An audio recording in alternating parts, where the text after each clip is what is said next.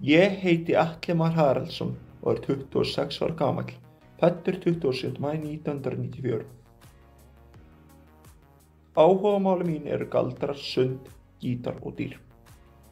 Er búinn að stunda sund með öspinni í 21 ár. Ég er töframæður, áhuga minn kveiknaði á töfrum árið 2004. Þegar ég kynntist nágranna mínum sem er töframæður. Þá var ég nýja ára. Ég byrjaði að æfa mig árið 2008 þegar ég fjakk fyrsta galdardóttu mitt frá um og afa.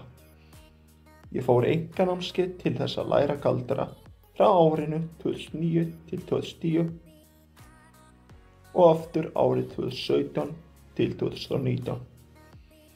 Ég hef meðal annars sínt galdara í sjónvarsætti á samkomum fyrir vini og félaga.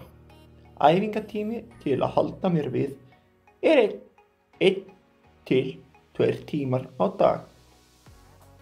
Ég hef unnið hjá Reykjavíkborg og Ási styrtafélagi og starfar núna sem stöðningsfulltrúi hjá Vinnóverkni hjá velferðsvið Reykjavíkaborgar.